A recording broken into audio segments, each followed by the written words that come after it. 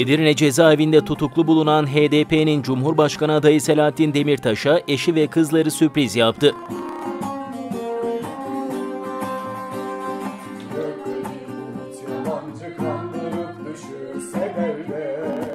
Demirtaş'ın bir süre önce yazıp bestelediği Korkma adlı şarkısını eşi Başak Demirtaş'la kızları Delal ve Dılga gitar, keman ve bağlama eşliğinde söyledi.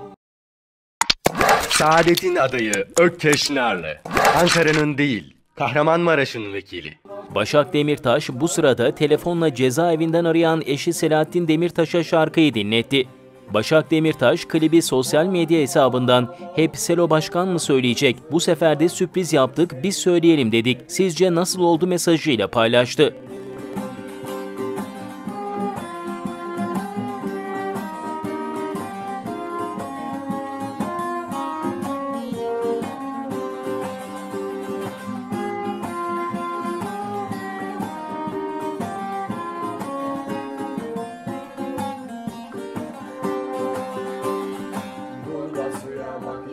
İstersen istersen kör aynalara.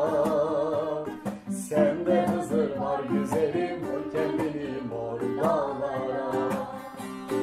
Korkma bağır olmadı Hızır çak. Hızır senin kalbindedir sen Hızırsın be güzelim.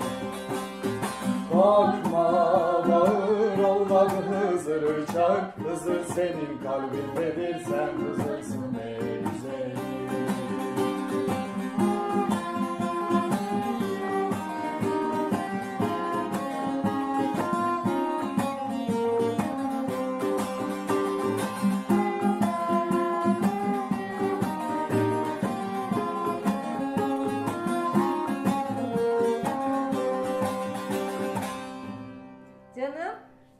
Kayıttan mı çaldınız? Hayır Delal'le Dılda canlı çaldı şu anda.